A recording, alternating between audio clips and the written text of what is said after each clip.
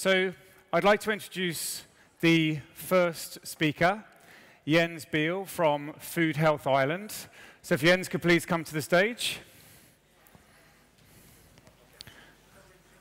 Fantastic, thank you. Welcome, welcome Jens. Thank you. yeah, okay.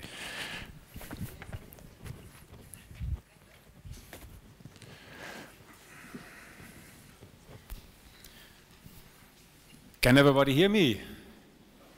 Yes. Very good. Thank you very much. I'm very happy to be here and to introduce this session on food and lifestyle.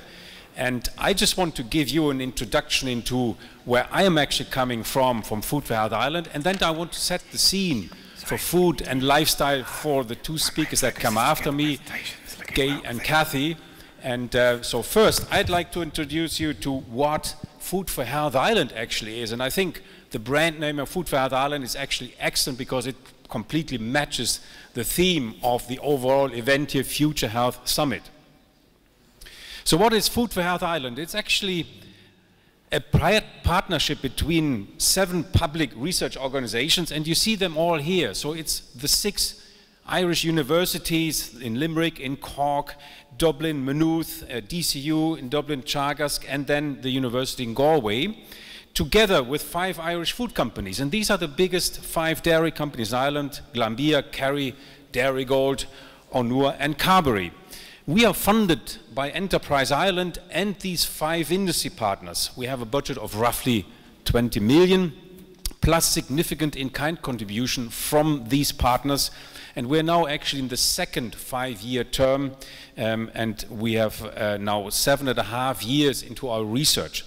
So it is what we call an industry-led research agenda. So that means that these companies have told us what they need in order to be successful in the marketplace and these seven universities have then matched their research program in order to deliver the science that can also be successfully commercialized. So we are doing research on milk, on the functionality of milk components, and we're looking into infant nutrition, glycemic management, healthy aging, sports nutrition, um, and healthy cheeses.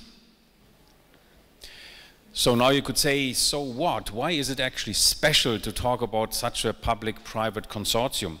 I think the first thing is that generating disruptive innovation for the Irish dairy industry, that's not something you would assume from the start because the dairy industry is not the most innovative one and definitely not very disruptive innovatively. This whole research consortium is about combining what we are excellent at in Ireland, which is the quality of the milk, because we have grass-fed cow's milk here in Ireland, which is by no doubt one of the best quality milks you can find in the world. We combine it with academic research, which is also, again, very, very good in Ireland, because if you just take all these seven universities together and imagine that that is seven universities for 4 million inhabitants, it could actually be one university in one big city.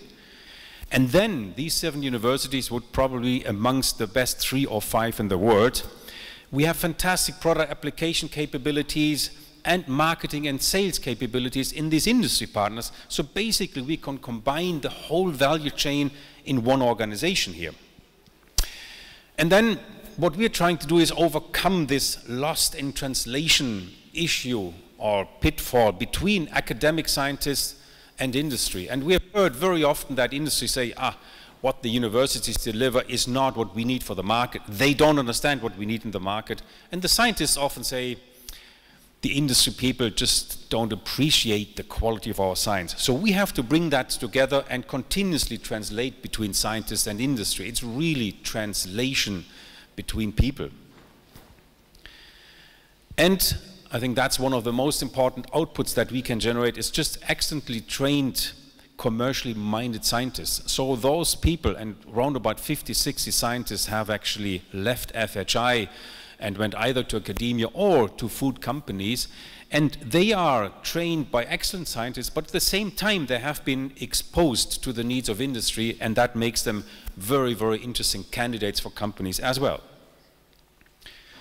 So now I want to set the scene, food and lifestyle. Why does that belong together? Why do we have such a strong and between the two words? And I would just want to quote uh, three sentences from Professor Luc van Loon. He's one of the leading scientists in the world about movement sciences from the University in Maastricht. So the first one is, don't feed people when in bed. So that does not mean that we have to starve them or that we don't give them food. But he actually explained once that he did a very interesting ex experiment. He took 30 students from the university, put them a whole week in bed, and they were not allowed to stand up nor to do anything. They got the normal food. And within that one week, these students lost in average, on average, 1.2 kilogram of lean tissue mass, so that means muscle mass. And one of the students apparently said, so what does that now mean?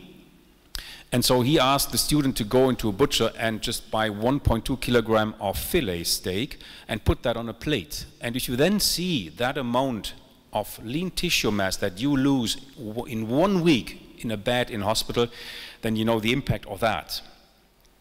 The second one, you are what you just ate. We always hear that we are what we eat, um, but he's referring to obviously the last meal gives you the respective nutrition and energy that you need in order to perform in sport or in order to uh, be active in, in, in, uh, in, a, in later age.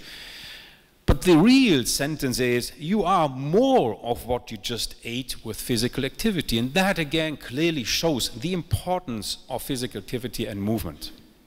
So here in FHI, we did actually ourselves a 24-week human trial with elderly people and you can see there's three groups. One group that got the control, maltodextrin, um, then a group that got the protein supplement, and the third group, protein supplement plus physical activity.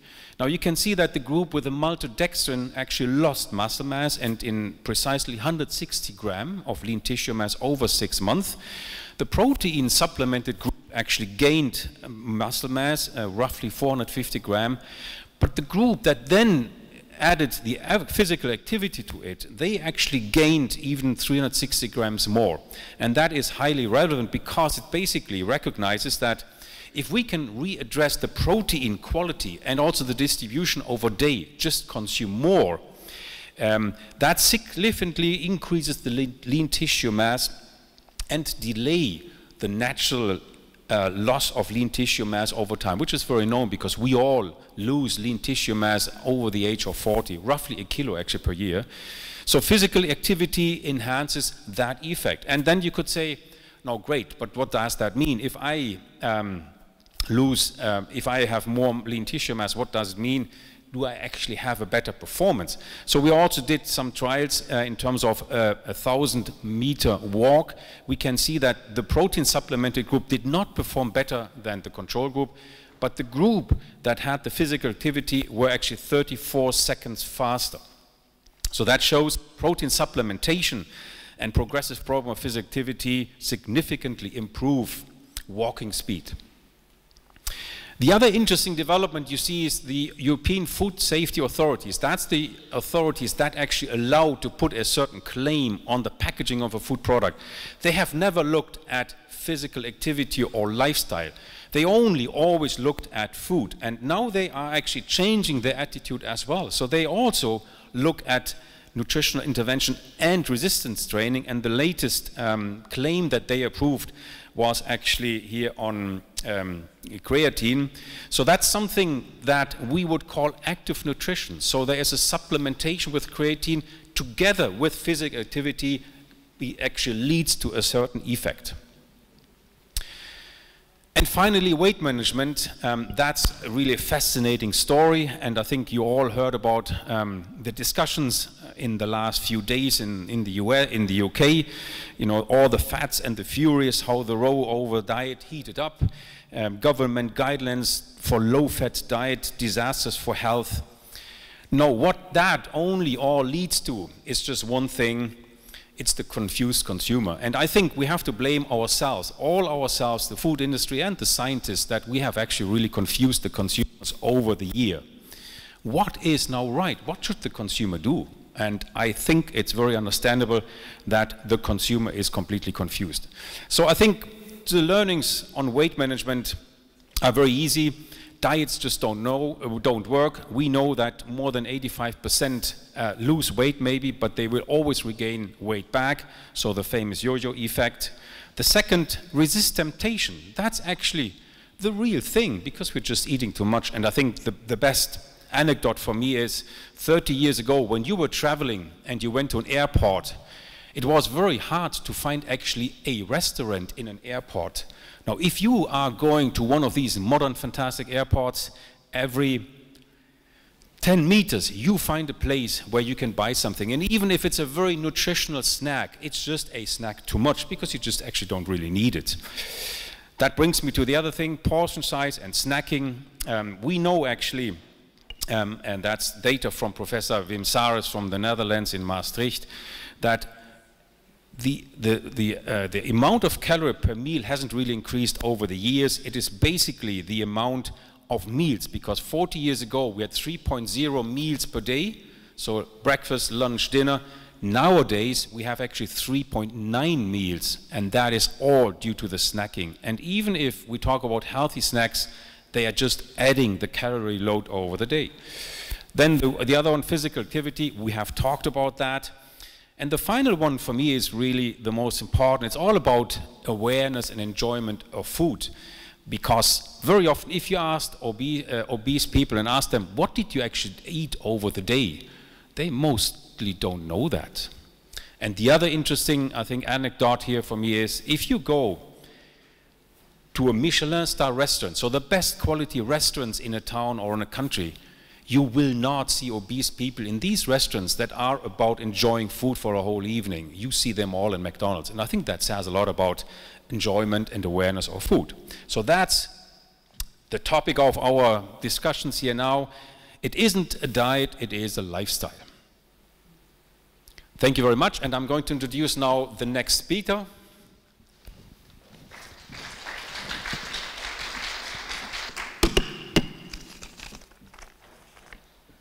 So the next speaker is Gaye Godkin, is one of the lead, Ireland's leading public health nutritionists. She received a master's degree in public health nutrition in UCD. Gaye has a profound knowledge of nutritional science and how food and lifestyle behaviors impact on our health and well-being. Thank you very much, Hans.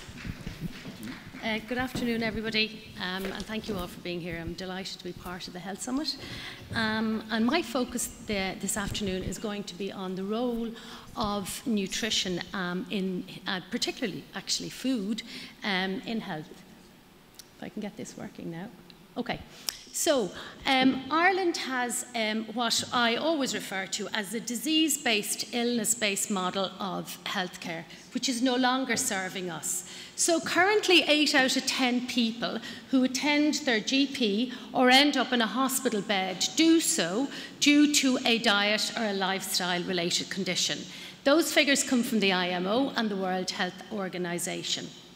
And we would like to think that if we have all of these chronic, what we call chronic illness, it's non-communicable disease, so it's not something you pick up from somebody else.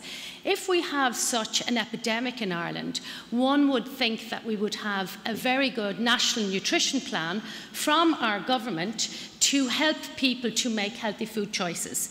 But unfortunately, we do not have a national nutrition plan, and nutrition is very low down when it comes to health and wellness. We kind of coexist Um, it is becoming more popular, it is more topical, which is wonderful, but we do need to have a national nutrition plan. And as Jens said, the confusion. So, as a result of not having a national nutrition plan, you get up in the morning, something's very good for you. By the time you're going to bed that night, it's very bad for you, and you end up with a confused consumer. And the latest, as we know, is the um, fat um, debacle yet again. So this was our Minister for Health, or I'd like to, I always unfortunately call them the Minister for Illness. Um, and this was uh, Mr. James Reilly, who appeared in front of the World Health Organization in 2013. And this is what James had to say. Chronic illness accounts for 86% of deaths in Ireland, 77% of the overall burden of disease, and 70% of our health resources are tied up. 80%, astonishingly, 80% of all our GP visits um, are related to chronic illness. And the number one killer on our island is not heart disease, it's our lifestyle. So they're quite shocking results, food and diet related. So how do we behave in Ireland? Well, as you can see here, our number one, our sort of our number four brands, and Brennan's Bread being number two, which should have been in there. Our number one brand since 2008 is Coca-Cola. Um, Brennan's Bread, uh, Avonmore is our second, Brennan's Bread is our third. Number four is chocolate, and number five is Tayto Crisps. Now, when it comes to um, what we eat a lot of in Ireland, and I'm not going to go on about the, the fats because I spoke at length in the media about this this week, but in terms of what fats are bad, these guys are really bad. These are what we call toxic trans fats, and there is no room for them whatsoever in the diet. So this kind of sums up the food choices that Irish people are making. So how many of us get up in the morning and say to ourselves, how will I refuel today? Well, if you had a new Jaguar outside your door, you'd certainly be putting the right diesel and servicing it and looking after it very well. But we all take our beautiful bodies, our vessels for granted. And we don't actually say to ourselves, how will I refuel? How will I take care of my wonderful body today? But there is a huge big brother out there who, are, who is looking at human behaviours all of the time. And they are the food companies. And there are only 10 big conglomerates in the world who own all of the food companies. And when you think about it, we do not need to take drugs, we do not need to drink alcohol, and those of us who are fortunate to be well enough don't have to take pharmaceutical drugs. But eating is a universal phenomenon, and we have to get up every morning, 7.5 billion of us on the planet, and we have to eat. So, the food companies actually engage psychologists to observe our human behaviours around how we make our food choices. And the results of that science would tell us that each one of us, on average, thinks about and talks about food 230 times per day. That's how, we, how much we are engaged with nutrition and with food. It's just so topical. Now, is it really all about calories? We're hearing a lot about putting calories on menu, counting calories. If it was as simple as that, we would all be pinned twigs. But it's not as simple as that. And as we go on and understand different types of uh, glucose metabolism, carbohydrate metabolism, fat metabolism, and as Jan said, protein metabolism, we're getting a much greater understanding. So don't become hung up on counting calories because you'll drive yourself demented. We all need to establish a healthier relationship with food, a better educated, informed relationship so that we can make healthier food choices. Okay, so when it comes to my friend, the fat man here, and this is an area that I've done extensive work in and extensive um, research in, the whole areas of um, fatty acid metabolism. In particular, um, I did a lot of work in omega-3, but in fats in general. Now, poor fat here has taken terrible rap over the last, uh, basically since the 1970s with the epidemic of heart disease in the US. They decided, oh, we have found this substance called cholesterol, which is a fat. Let's take all the fat out of the diet and we will resolve heart disease. Unfortunately, cardiovascular disease is the number one killer worldwide. It is the number one killer in Ireland, and unfortunately, it is the number one killer of Irish women. An Irish woman is seven times more likely to die from cardiovascular disease than she is breast cancer. And really, if we're all eating low fat, no fat diets, why have we got the epidemic of chronic illness that we have?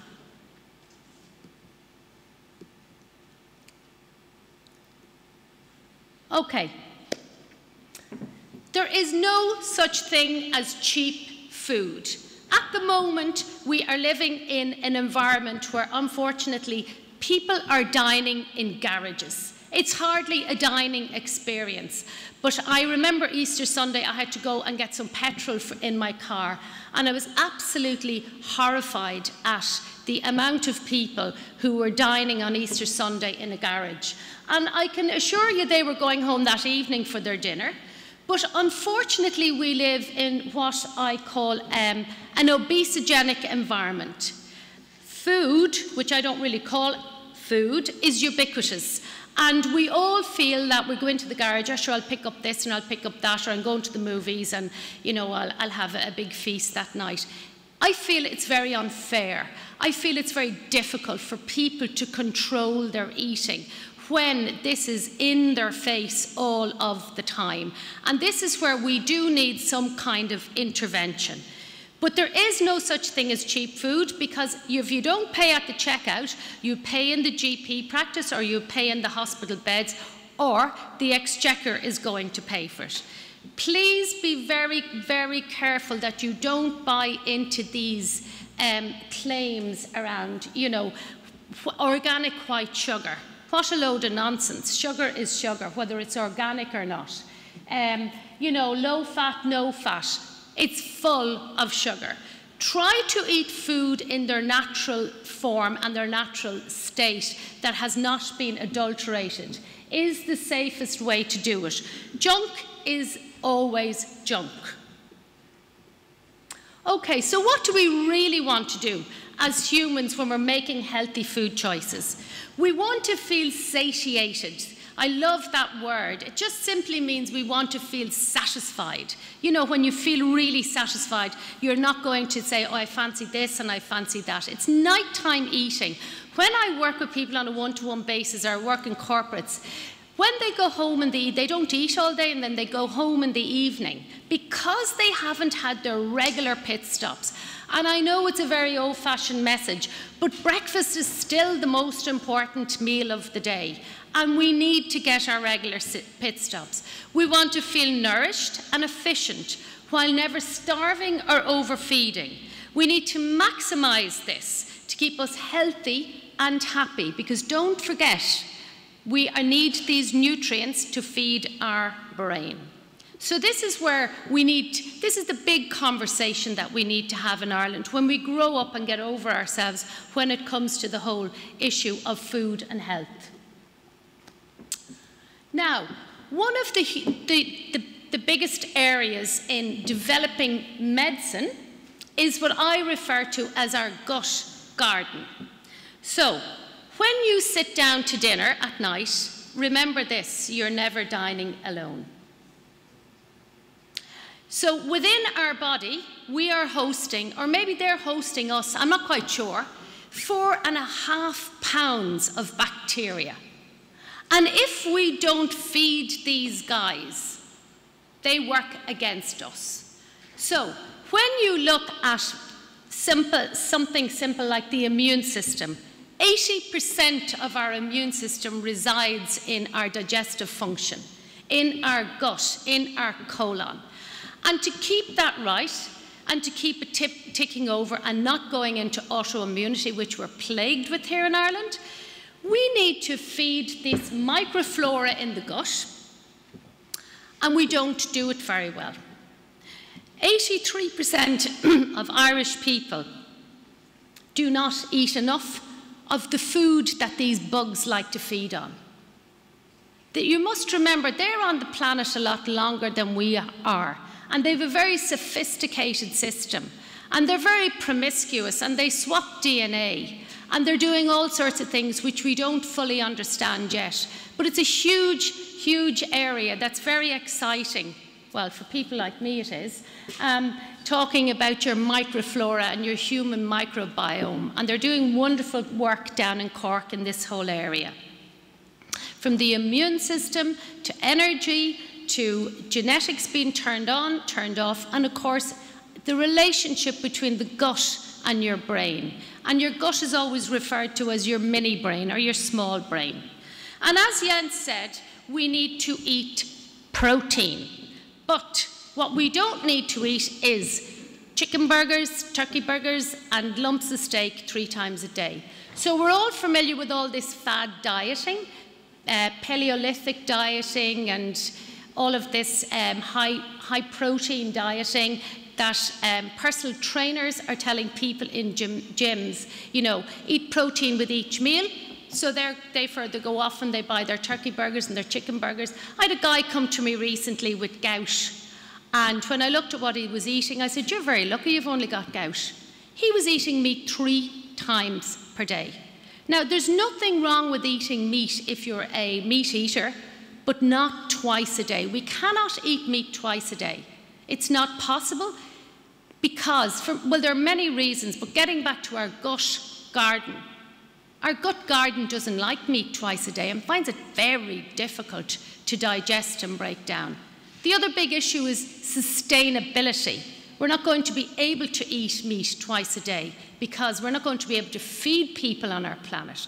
So, what we really do need to do is increase our vegetable protein. Fall in love with these guys. You know, we don't have a great history of eating pulses and beans and lentils and vegetables for that matter. And I think this is where we need to go. You know, we're talking about the Paleolithic diet, but those guys ate squirrels and they ate mammoths. I don't think you could go into your butcher's and ask for a kilo of a mammoth.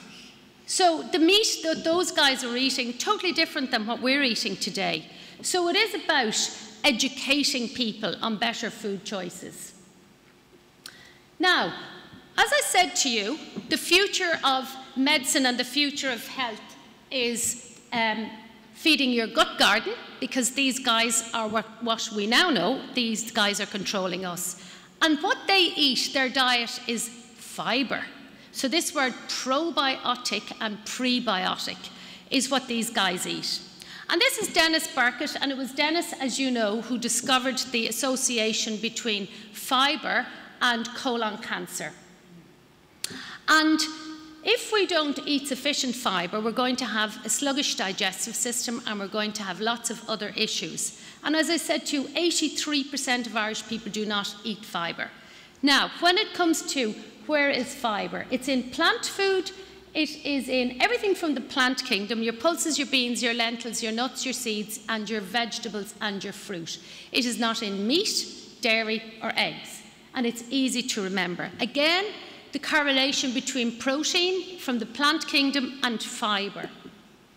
So, nine is the new five, and Harvard School of Public Health. I follow Harvard School of Public Health. Um, five, we are all aware of the five-a-day message. There was no science behind it. There is science behind nine is the new five. Um, national nutrition surveys in Ireland would tell us people eat on average two portions of vegetables a day. So I'd say we're kind of in trouble. And I'd say that is reflected in the amount of people who end up in hospital beds. I'd say that th this is back to basics. Okay, very, very briefly, because I think I've run over, have I? No. no. Okay, just very briefly. I just wanted to um, raise two points with you in terms of health and in terms of the medical system need to switch on to food and nutrition. It's not their fault because when they go through college they don't learn it. They go through the RCSI and they come out with a, a really good medical degree and they do not cover nutrition, which is a, a big pity. So what we, what we want to talk about is this area of epigenetics. So the human genome does not define you.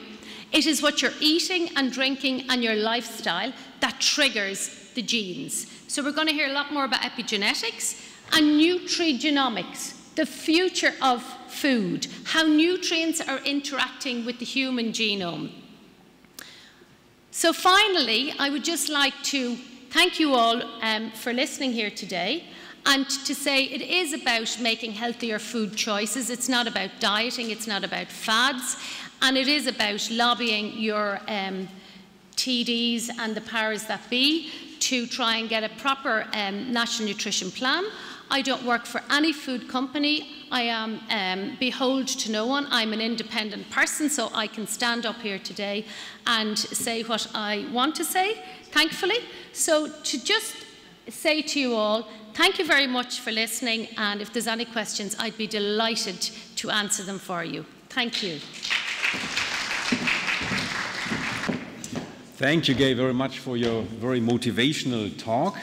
And I have the pleasure now to call Kathy Sora Hen to the stage. Uh, Kathy has a proven history in the fitness industry. She has worked with many TV and movie personalities, and I'm sure you can tell us fantastic stories about that. She got her qualification in the University of Limerick. She is also trained in life coaching and stress management. She achieves great results even for the more difficult clients because she is so passionate and motivated about wellness. Is this on? Okay, cool. Um, yes, I guess that is all true about me. I've spent 25 years working in the industry.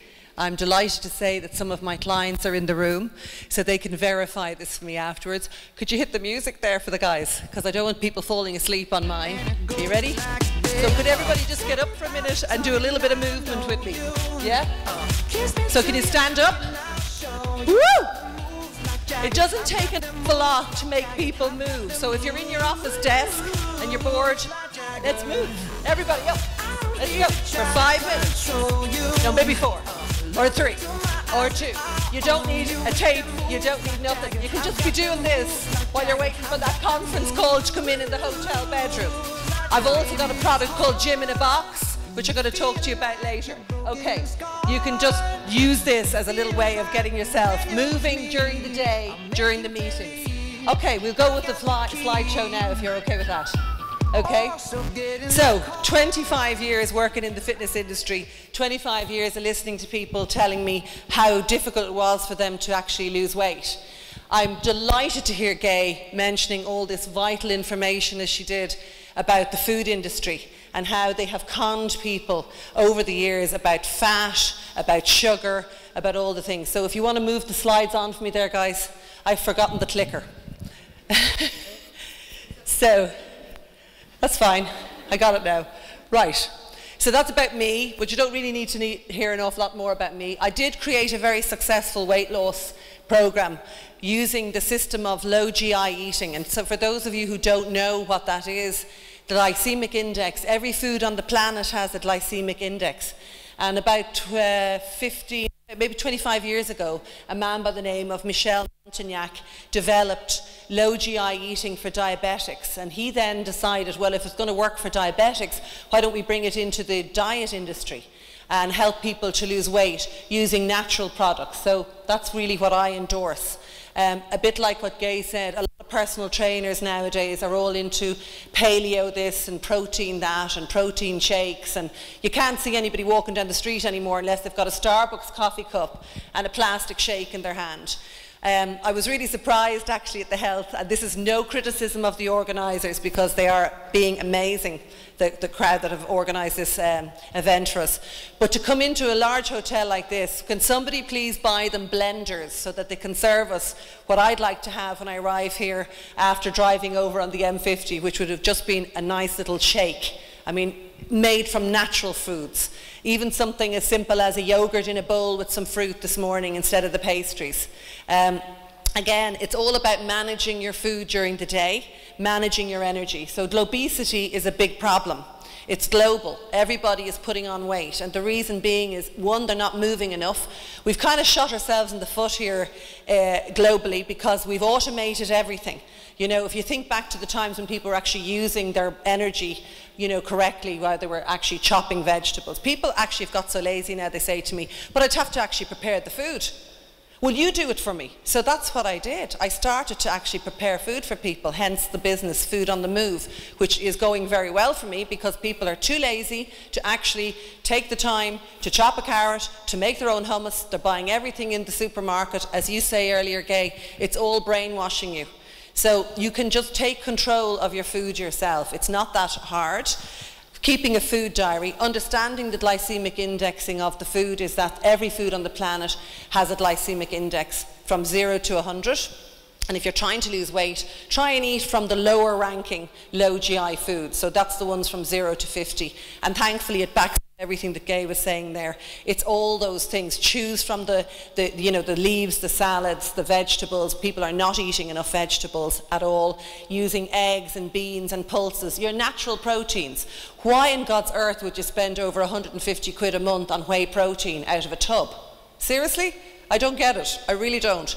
Reducing your carbohydrate intake is important if you're not moving too much. Now, the average person that comes into my studio, Women on the Run, on you know an evening for an evening session, I have got them wearing Fitbands, and they're able to tell me how many steps they've taken in their average day, which, by the way, is roughly around 4,700 steps for the average office worker. If you're trying to lose weight, you need to take 15,000 steps a day. So God help these guys, that's all I can say, because they're running through the door, they get an hour's exercise with me, they possibly will get in another probably two and a half thousand steps during their hour session. But they still have a deficit going on here. They're trying to get home, they're trying to, uh, you know, meet their families, maybe make a meal, and again, they're running out of time. It's all about the time. Nobody has time anymore to look after their health, as Gaye correctly pointed out. So here's a couple of tips. Keep a food diary, right? You're meant to have this sequence. Good breakfast, mid-morning snack, lunch, mid-afternoon snack, and evening meal. Why? Because it stabilizes your energy levels. It keeps control, right, of, you know, the, the um, insulin in the body, okay? And a lot of people are skipping their breakfast. I've given some uh, hints there on what you could have uh, for breakfast instead of those lovely croissants that we're wafting out at everybody here. Lunch on the run. This is a big one. Most people haven't time then, and they run out the door, cross the road to the nearest sandwich bar, which, by the way, has been strategically placed outside major offices offices. The same way the takeaways are strategically placed outside the schools so that the kid who's run out, who has a few quid in his pocket for babysitting or putting out the bin, God bless us, goes across the road and buys himself a bag of chips, a sly one on the way home before mammy feeds him the pizza, which by the way she thinks is fresh because it you know, was made up at the counter in Superquinn. Right? It's not fresh, but it is actually probably the worst thing that we can feed them, right? But avoiding your stereotypical sandwich, that's a big deal because most people don't realise sandwiches were meant for people who were like working in the, you know, industries where they needed a lot of energy during their work break. So you're looking at builders, farmers, hands-on jobs that require, you know, uh, a lot of energy to keep them going for the afternoon. But people sitting at desks and people sitting at tables do not need a big beefy sandwich, okay? There's nothing wrong with bread. But you've got to work out the energy that your body requires over you know, what you're actually going to do in your day. So energy intake over energy output. And I agree with Gaye. Stop counting the calories. Look for better energy food. So what I really want to see people thinking about is intelligent eating. And I want to see the people in the health industry talk to the doctors, get the consultants into a room and explain to them, you've got to stop the hospitals producing food that isn't going to heal your patients. I spoke this morning to a lady from the John of God's Hospital where a member of my family had to attend there a number of years ago because of depression. And when I went to the canteen, I discovered that there was nothing in that canteen to eat other than food that I personally don't eat anymore because it doesn't give me better energy. So if you think about it from that point of view, do you want to eat food that makes you feel fat and slumped down and you know, you know that the food, you, your brain needs tofans. Um, so one of the best ones that you can ever eat for that, by the way, is tofu right? So you don't need a big steak. I totally agree with Gaye when she says about people eating these high protein diets and, you know, um, gym instructors telling them to have steak for their breakfast and steak for their lunch and all that. It's totally unnecessary. Believe you me, I've lost gazillions of pounds off people's bodies, probably as big as the Sugarloaf at this stage. and I've even lost some off my own in the last year because I had an injury that required me to have a hip replacement seven months ago and I certainly didn't go on a high protein diet to do it. I used the low GI.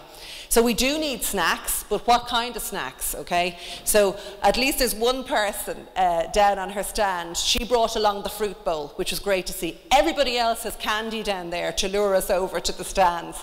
Um, so really, if you are trying to be healthy, show that you mean it. You know, walk the talk. Chromium is a very good supplement as well that helps regulate blood sugars. And if you do have a sweet tooth and you're trying to get off the sugar, which is a demon, right, then I would recommend it as a supplement. Um, the frightening facts about salty foods, right? Frito Lay's, they developed a machine. It cost them $40,000 to build this machine with 500 food scientists, you know, showing people uh, that they need to get the right crunch on the crisp. Yeah? And as Gaye said earlier, how much are we eating of salty foods? Well, there you go. In Ireland, in particular, we love our crisps and our Doritos. So there's an example. Doritos have three times the amount of sodium right? Uh, a, a 300, a, just literally a handful has 380 milligrams, right? And it will max out your daily intake of salt, right? So that's just a few handfuls at the drinks party that you might be going to later on. Okay, so think about all these things. And then the food companies are tricking us with the use of sodium instead of putting salt on the label. So you've got to really look at the packaging. I had an example of a juice this morning. I stayed over with friends of mine, and the guy that I stayed with was trying to uh, lose weight. He handed me a Dunnes Stores, what appeared to be a, a healthy option of a juice. He said, What do you think of that? When I showed him the label and showed him that the carbohydrates in this juice contained over 11 grams of sugar per 100 mil, and the bottle was actually 330 mils, right? That's a heck of a lot of sugar. He thought he was eating healthily. He said, What'll I do instead? I said, Pour yourself a glass of water, put some cucumber in it, and mint leaves from your garden if you want to, right? If you want to change the taste of your water. Sugar, fructose, OSE, look for the label, see what's on the back of the, of the, of the jar. There is so much sugar in these ready made sauces as well, it's so scary. So what I do as a professional, I show people how to prepare their own sauces. I run cookery classes as well through my business and take them to my house and personally want them to know that you can actually make a tomato sauce in a blink of an eye with real tomatoes, real herbs, real this. And I want to get the children involved in this and get the schools involved in this as well because until we start on the ground, it's never going to, it's never going to migrate. Okay? There's a marketing hype. I totally agree with Gaye about low fat. It has destroyed people's uh, opinion of fat. Uh, Yen mentioned earlier about the whole thing about getting to know your cheeses. I'm delighted to hear it because the amount of people who come in to me and say, oh, but I don't eat cheese anymore and I don't drink milk and I don't do this. And I'm like, oh my God, your balance, your diet is off the Richter scale. It's so unbalanced. And, you know, there, there are good cheeses, and especially some of the organic. We've one of the best dairy uh, countries in the world. Embrace it, enjoy it, but obviously portion control it. And that's, we just touched on there about the fats there, and Gaye said it already, so I'm going to move on about those because there's no point in going over the same thing. Um, good snacks, right, versus bad. Um, that's a very, very good area now. And, and you know if you're going around to a lot of these conventions, one of the things that you fall down on usually is that mid-afternoon slump.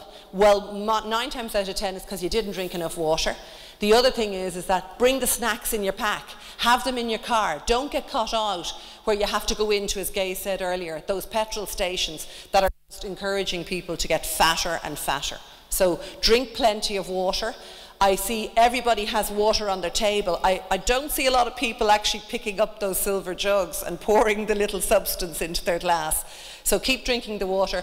Go and organise your weekly shop, okay? And most people go to the supermarket blindly and they're going down with their trolley and they're going, I'll have that and I'll have that. Because everybody is like subtly making you want to eat stuff off the aisle that you weren't going to go into, but Jimmy and Johnny need their little bar for their school box and stuff. Rubbish, okay? Best way if you want to lose weight, go online, buy the food from the good, healthy areas that are in those supermarkets and don't buy, you know, the special offers. This two for the price of one, it's again just trying to get people to eat more, okay? Don't fall into it. You, and I really want to see people challenging the food industry. Preparing your fridge, great way.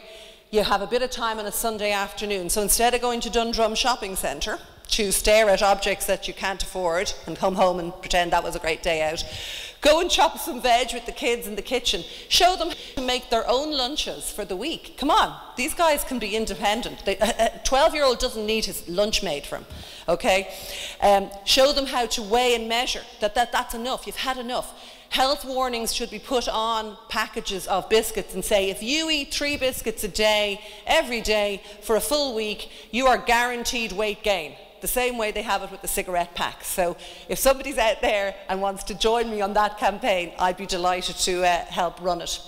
Alcohol, huge, big problem. Okay, people are using it all the time for de-stressing.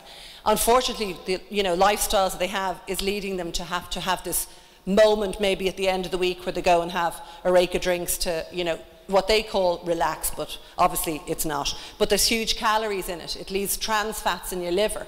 Uh, you can't see these, you can't touch them, you don't actually know when it's going on. So obviously you've got to go with the recommended um, uh, units per week, but honestly, the World Health Organization are saying even less, and the people over 40, none at all. Okay? Because it does cause Alzheimer's, which later on in the afternoon, there's a great talk coming up with my friend Hildy, who's going to talk a bit of neuroscience with you and how to manage your stress. Um, and it's really important for weight loss because the production of cortisol in the body also adds people to anxiety eating. And that's a huge area that's not been looked at. You know, kids are anxiety eating, they're comfort eating. You know, mom, dad's not there anymore. They're coming into empty houses. So what do they do? Mommy loads up on the food and says, eat all you want till I get home then I make you your dinner. I agree with Gaye on that one, right? Um, there's calming foods out there, lettuces, chia, all of these. Cut your coffee down to two cups a day, right? Um, it is easy to do this. Get pumpkin seeds into your trolley. And reducing your cholesterol, very important, but realise that you need cholesterol, okay? And the good, ask them when they do the testing, is the good outweighing the bad, okay? Don't just jump on those uh, cholesterol lowering tablets. You can do it with your diet very, very easily using your fish oils, your porridge, and exercise. I have a stand downstairs, um, stand number seven for gym in a box. Um, if you want to come down, it's a product that I developed there. It's really important for you to do your resistance training. Set your goals. What do you want to achieve? Make it realistic. There's 3,500 calories in a pound of fat. That's if you reduce your intake by 500 calories per week, per day, you'll lose a pound a week. Double it, End of story. Thank you very much for listening. Really appreciate it. Stand are you? I'm exhibition stand seven, gym in a box. Fantastic. Thank, Thank you very you. much, Kathy. Thank you.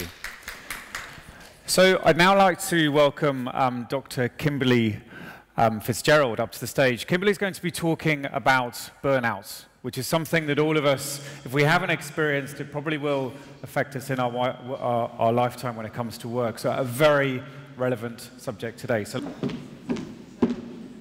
you hear me? Hello, hello, cool.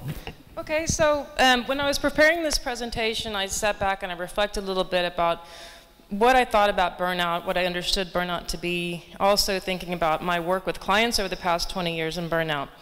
And this image came to my mind and it just would not go away. it's this idea of the working dead. And zombies are really, really popular right now. And I was kind of sitting back and thinking about it, and I thought, well, trends in the entertainment industry reflect social problems. Zombies are everywhere, and I was just thinking, what's it all about? So I actually looked at a zombie forum called Let's, Let's Talk Zombies, just to try to understand it a little bit more, and found this excellent quote Zombie films typically critique humanity in times of crisis. Half an hour of The Walking Dead shows enough angst and intergroup frustrations, you'll start to consider going solo during an apocalypse. And this uh, image on the top, so you know it's bad when you prefer the zombie apocalypse over going to work on Monday morning. So this idea of dread, dreading shuffling into work on a Monday. And this whole idea of kind of feeling brain dead. So then I decided to have a look at the uh, headlines in the news. So here we have half of Irish staff on verge of burnout. Pretty heavy stuff. And physician burnout, it just keeps getting worse. And the majority on the brink of stress, office tensions rising, but flexible working provides a solution. Now, that's not always an option for people. So social workers are resigning from their jobs at a rate of one a week. EU study blames long shifts for nurse, burnout. Now, all these links from the, the presentation, so you can read them yourself. And then, according to the American Institute of Stress, workplace stress costs more than 300 billion each year in healthcare, missed work, and stress reduction. So I'm a big fan of Seinfeld, and especially George. He's a great cynic, and I thought this was really relevant here in terms of work-related stress and attitudes. When you look annoyed all the time, people think that you're busy. So what's that all about? Risk factors for burnout syndrome. So we can see here on the left, negative job characteristics, so things in the environment um, overload, work conflicts that can be about people, this idea of effort, reward, and balance, why bother? Why bother anymore? It doesn't matter. Um, length of training and delayed gratification, people might have trained for a very long time. They get into their careers and it's just not what they expected. Um, occupational factors, the, the, hierarchy, patriarchal companies, these sorts of things, high demands, number of years, frustration, Organizational factors, rapid change, that's been a really big one. So uh, lay, layoffs and people having to adjust into the workplace. Younger adults, that's a big one. So some of the research now suggests that younger adults are more prone to burning out sooner, really eager getting in and lack of work experience. Um, poor self-esteem, that's a really important one here in terms of burnout. And then expectations, financial issues, salary, being responsible for financial issues, taking care of the family. And this is a really excellent uh, resource if you're interested, Burnout for Experts. So risky roles, this is a really important frame, um, phrase I'd like to point out, this, this idea of emotional labor. I'm going to call these risky roles. So we're thinking about the helping professions. What this is about is um, the cost of caring for others in emotional and physical pain. So you're in a type of a job where you might experience what's called secondary trauma or vicarious traumatization. So you're picking up things from your clients. It could be visual, it could be auditory, and these things can get stuck in your mind. And they, they pick up over time. They become a collective thing in the brain. People go round and round. And the mental uh, capacities too. So it leads to um, compassion fatigue, along with burnout, which is linked to it's exhaustion basically. So carry, the cost of caring for others in emotional and physical pain. So risky roles where emotional labor is invested. So we're looking at medical professions, situations of life or death. They're really responsible for people's lives. Um, humanitarian roles, people right on the ground seeing all kinds of trauma. Mental health workers, you might see yourself in here somewhere, actually. Um, this is a big one here what, that I've seen in my 20 years of work. Um, I always say it's lonely at the top. So it's really tough to get people in these levels of jobs into treatment or to admit that they need help. So these are high-level peak performers and or senior staff. So it's about the pressures that people have in their roles. So to perform, to be leaders, be seen as good role models. And what I see a lot is, you know, who can you trust, who can you talk to? But I always tell these people, look, if you're lonely when you're alone, you're in bad company. So get some help. And it can be challenging. What does it look like? Okay, so for the employee, it's just a change in attitude. So you're struggling, it's the whole shuffling into work, the, the working dead type of thing, dread going in, irritability. And people might not realize this. Sometimes your family might and friends might say things to you. The self-harm thing, so they might not realize that, so an increase in risky behaviors and heavier drinking. Now this, is, this I have a problem with. You see this a lot in the literature. Cynical, sarcastic, and critical at work. Kind of the comment George made earlier. I don't agree with that language. Usually there's people that have a reason to be that way. I think they should be called something else. Um, the management, of course, my previous presentee, high performer, has just changed. You know, you can see the a change in the quality of work, absenteeism, loss of motivation, and mood swings. Risk factors, this is a really important one here, the personality. So um, uh, the people most likely to burn out quickly are overachievers, perfectionists, and pessimists. So all of these are supported by the research. It could be about an imbalance between your home and work life. There's more going on outside and impact on work. Burnout is typically linked to the workplace. Work-related stress, we discussed, and lack of involvement with decision making, not feeling like your voice matters. So assessing. So this is an interesting area too. Um, according to the International Classification of Disease, the ICD-10, burnout is a state of vital exhaustion. So the, the, phrase vital exhaustion is very important. So that's problems related to life management and difficulty. It's a multidimensional thing here. So the key here is uh, exhaustion. You'll see this over and over. Inefficacy, you don't feel like you can do things like you should be able to. And the cynicism angle, which I think is something different. Um, it could be other things, could be depression or anxiety. Depression and anxiety often work together as well. You might meet somebody who's being um, treated on medication, antidepressants or anxiety medication. So these types of things you can see combined with burnout. It's difficult to, to screen it out actually. Um, with the, in psychology, we use a diagnostic and statistical manual of mental disorders. It doesn't, doesn't say burnout specifically, so we can look to the back of the book under other conditions that may be a focus of clinical attention. These aren't mental disorders, but circumstances that, you know, related to life stuff. So here the social environment. Um, they could be bullied. It could be um, expats not used to the, the community, uh, living alone, isolation. Maybe the job's their whole life. They don't have any other supports. Another section is psychosocial, personal, and environmental circumstances. Um, multiparity, so the more young children under the age of five, and it can be very difficult to get women back uh, to, wor to work after um, maternity leave because of the stress in the, in the home. Um, victim of terrorism or torture, um, if that's been a part of their history, if they've lived somewhere else, they could be triggered and it could come back in their lives. But also domestic violence is a big one that I've seen, and people are very silent about it at work.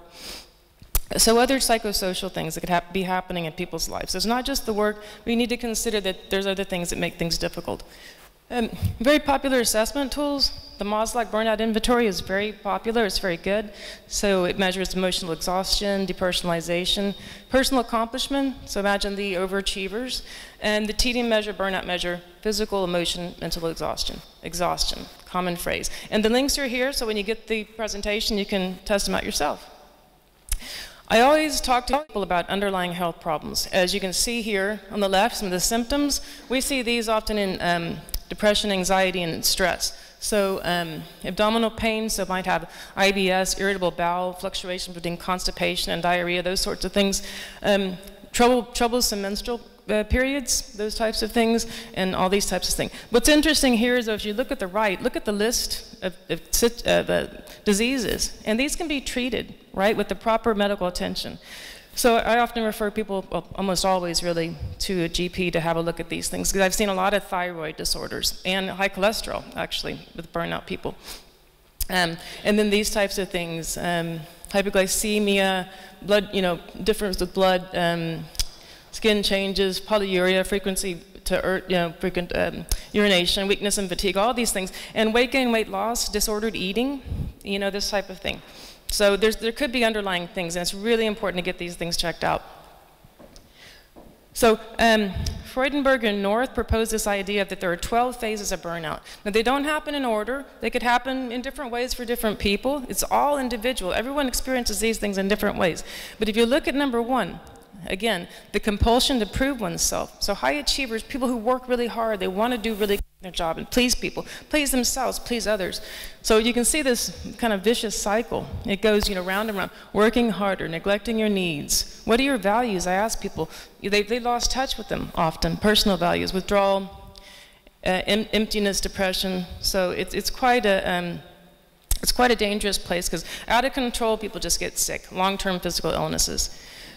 Uh, this is really a key point of burnout I, wanna, I just want to say here. It's a multidimensional syndrome, combination of things. And for prevention, there's, I would suggest this ABC type of model. So whether you're looking at a workplace health program or just for yourself or talking to people, it's about awareness, balance, and connection. So we're thinking about somatic anxiety, depression, those types of things, looking at that. And for the feeding the body correctly, the health, as the lady spoke about before, and the fitness, just really, really important. Tips for companies is really important to mind your language. And I would suggest instead of burnout prevention and training, consider work engagement angle. The work engagement is a new way of looking at things. And if you're using employee surveys, assess for employee engagement instead of burnout. Um, so for younger staff, you might want to pair them with a mentor. Uh, any sort of health promotion, you'd want to talk about red flags, how to read your people's, you know, their, their system, their symptoms themselves this idea of manager training um, for leaders, uh, emotional intelligence, that type of assessment for them to have a look at themselves, where they're at, do they need to delegate more, how they, how they communicate, and coaching. I've seen this work really, really well in companies, especially if manager, managers have been out sick or if their team members have been out sick for any you know, type of reason, the coaching can be really powerful here. Um, I, it's really, really important to have respect and um, for, uh, recovery time of people who are out of work. My background is return to work coordination and rehabilitation counseling, and I will say the studies do show that the longer a person's out of work, the less likely they're going to return. So immediate contacts from HR, or whatever um, support system you have with occupational health, contact them and they need a safe place for someone to check in with them as a case management situation. Tips for companies. This comes from an excellent resource here. It's, a, it's from the HSE in the UK, How to Tackle Work-Related Stress, a guide for employers on making the management standards work. So it's a whole program on training for managers. Um, we're looking at demands, control, support, role, these types, types of things. Maybe you'd look at a job analysis of the role, or if someone's out sick, analyzing the job, look at reasonable accommodations. And it's really important, I think, to have a, a really good, inclusive dignity at work policy, a really good one. So psychological supports, this is a big one here, guilt and shame. Guilt and shame. People feel so guilty, I feel bad, I'm out of work, I'm not performing, I'm not the same person I am. But I tell people, that's the high achiever thing, but look, it's, not, it's most likely not about you. Um, and I would talk to people about, you know, maybe assess them for perfectionism or personality traits. What, what are you in control of? Can you change your thinking? Where are you in your life? Lifespan, well, look, are your, are your kids still in the house? Are they leaving? Are you alone? Do you feel different? Where are you? Personal resources are a really, really big one. And there, I'd be looking at coping skills, family, friends, support systems. And then the di digital detox, I mean, just let, let go for a little bit. No one wants to know what you're having for breakfast on Facebook. You know, people, it's just such a problem. people are so connected. And sometimes there's a bit of grieving in this because people have had loss of function. So I would say kind of let go and let grieve bit of bereavement in there, and I might treat it like a post-traumatic stress sometimes. Tips for individuals, re rebuilding self-esteem is a key element of rehabilitation of burned out employees. And again, the language here is important. I'd like to say, let's call it psychological resilience and mental fitness, along with the physical fitness, so important. So the more physical fitness people have, the more likely they're to recover. So let's talk about physical resilience and mental fitness.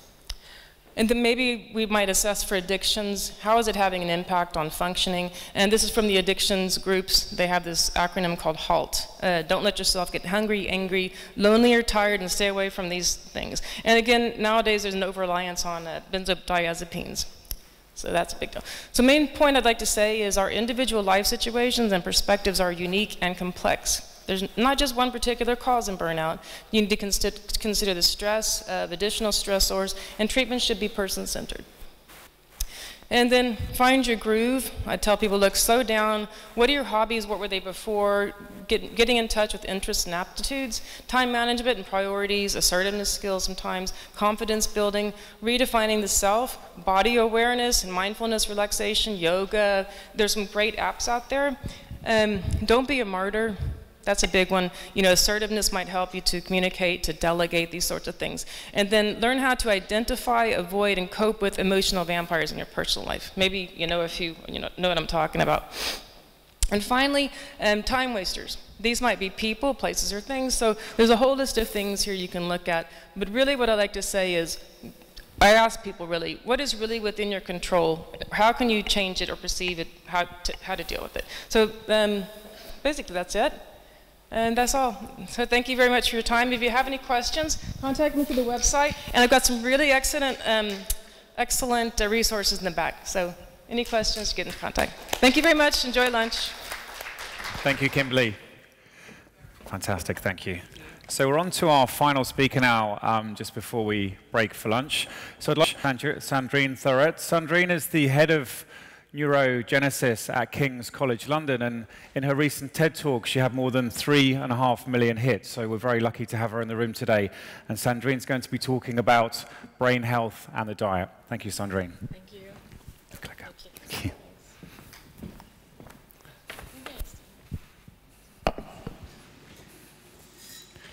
Okay, uh, so thank you everyone for staying. Uh, and we will see that actually fasting might be good for you.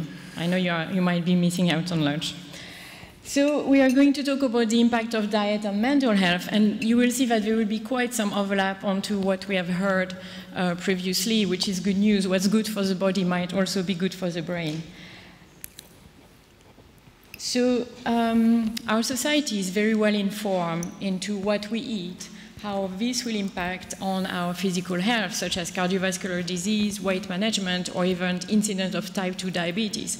However, we are not well informed how diet, uh, what we eat, when we eat, and how much we eat will impact on mental health, such as mood and depression or cognitive uh, decline and learning and memory abilities. So what I'm going to tell you today is really show you evidence, clinical evidence from research from our group and other groups around the world that what we eat will impact on memory abilities as well as on mood and depression. And in the second part of the talk, towards the end, I'm going to give you a little hint how we think neurobiologically diet can modulate mental health.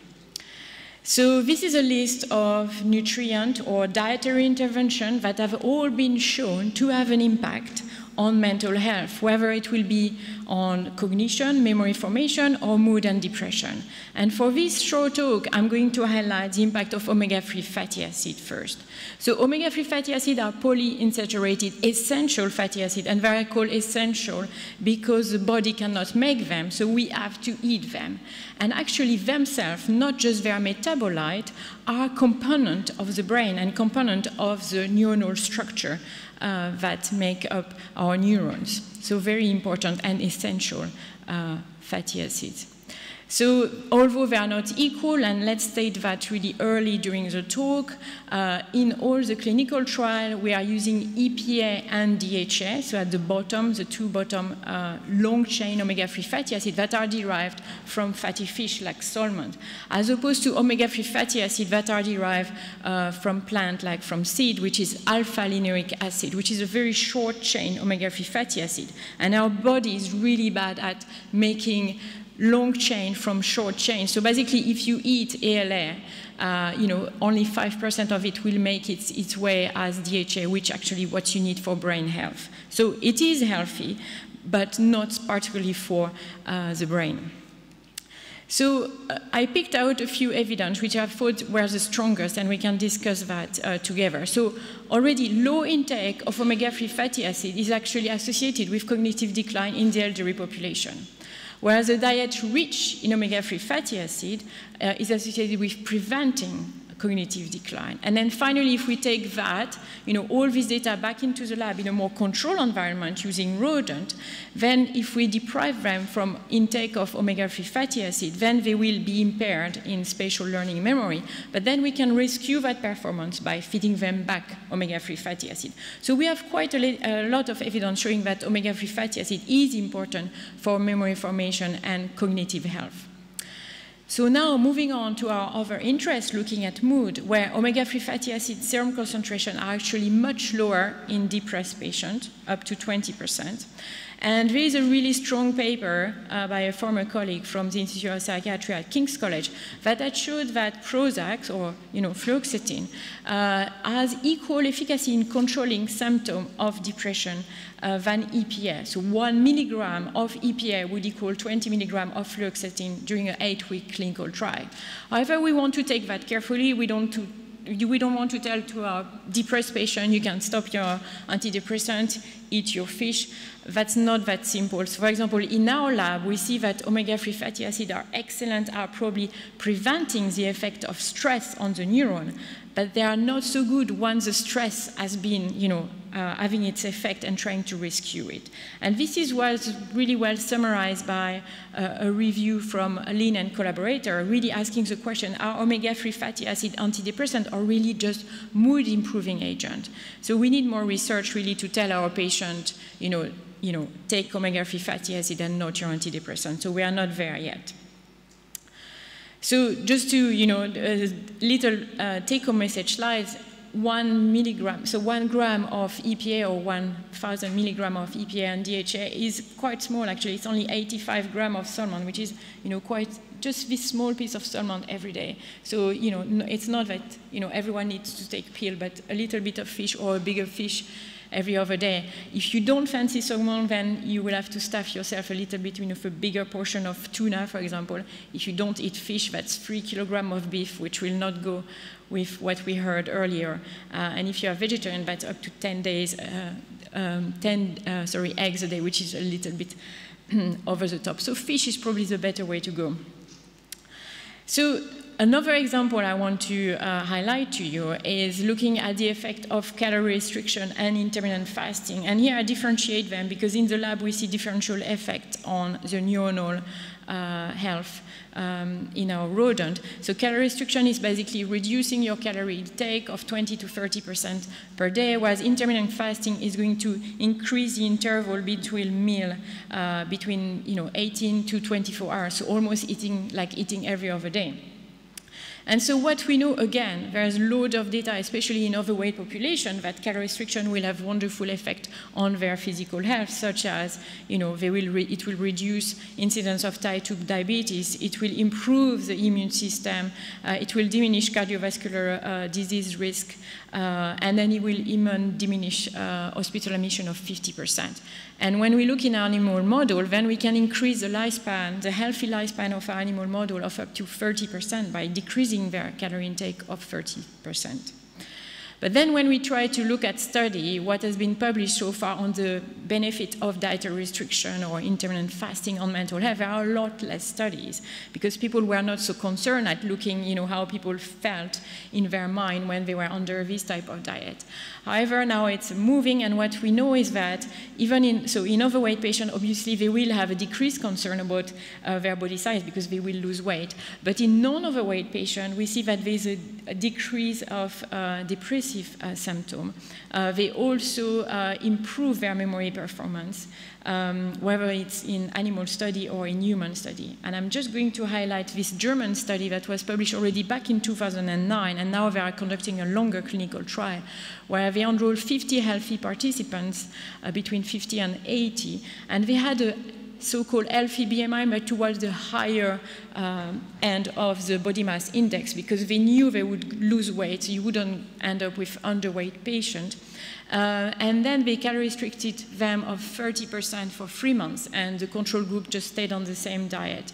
And what they could see after three months intervention is that, so at the baseline, so we have their memory performance state at 100%, whether we have our control group or where we have our intervention group. And after three months, they measure again their memory score. And you can see that the participants that undertake three months 30% care reduction actually increase their memory performance of 30%, and our control didn't significantly change the way they were um, learning and processing their uh, memory.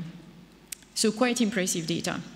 So now, just to finish and, and roll out this talk, uh, the question is how what we eat can actually impact mental health so much.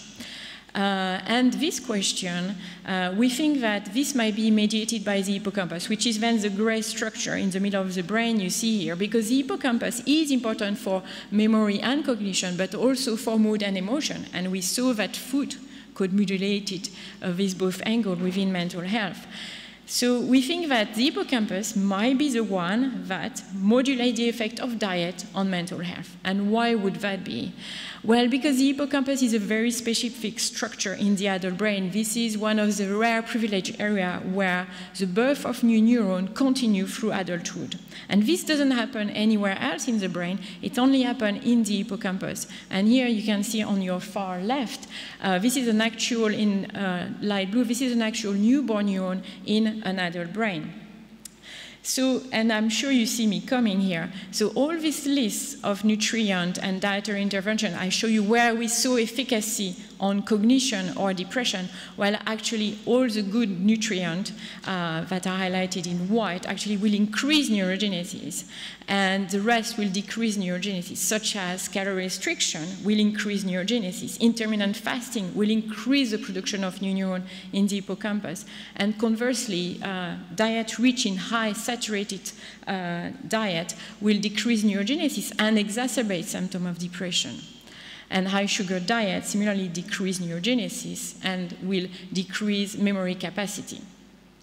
And we think that collectively, in my lab, but obviously a lot of other labs around the world, we have enough evidence to say that the impact of diet on mental health is likely mediated by controlling the production of new neurons in the hippocampus.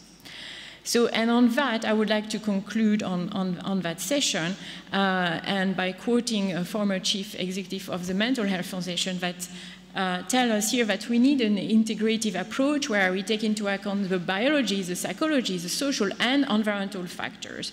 And then the time is right for nutrition to become a mainstream everyday component of mental health care and a regular factor in mental health promotion. Thank you.